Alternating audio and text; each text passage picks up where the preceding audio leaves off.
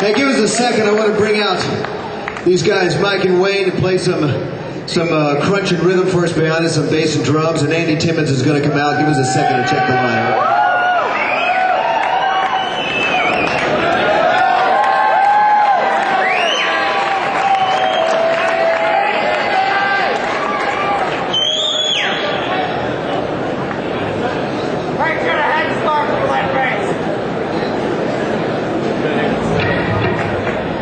You guys are entirely too quiet. What's going on out there?